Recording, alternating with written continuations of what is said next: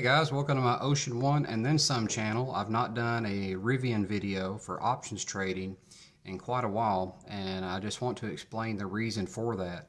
I went on vacation and of course when I'm on vacation I usually don't do anything so uh, so I stayed away from you know making any YouTube videos anything like that and then I recently purchased a Jeep Liberty that I wanted to restore, and I kind of got obsessed with that, and I worked on that every day.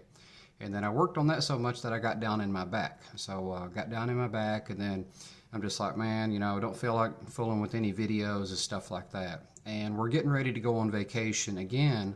Uh, we leave this Saturday, and we're going to be gone for a week. So once I get back from that second vacation, uh, I'll get back to doing the videos. I do want to give you a quick update on where, where I am with my current trades.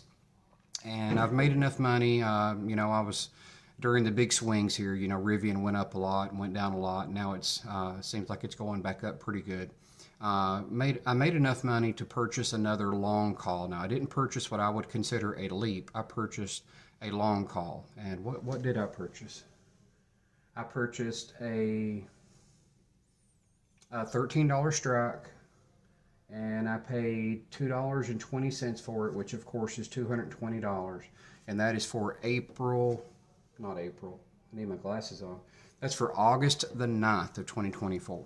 So I have a leap for 2025, $10 strike, and I have a long call for August the 9th. And the only other thing I currently have out right now is I have a $15 uh, sold call out for this Friday.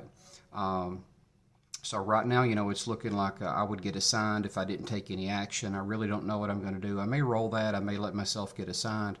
Uh, if I roll it, I'll, I'll, take it out a couple weeks. If I don't roll it, I'll simply let myself get assigned, assuming it closes above $15. Um, let myself get assigned and then turn right back around and start selling puts on it. So anyway, I just wanted to give a quick update on that and always uh, I appreciate my audience, and my audience is slowly growing on the YouTube channel here. Uh, like I said, once I get back from Disney, I will uh, continue uh, to give my updates, and I'll try to do two videos per week. So I hope all of you are doing well, and if you're wondering where my videos were, uh, that's where they were. I spent most of my time working on the Jeep Liberty. Um, I got it for a good price, and so I put a little money into it, wanted to make it look really good.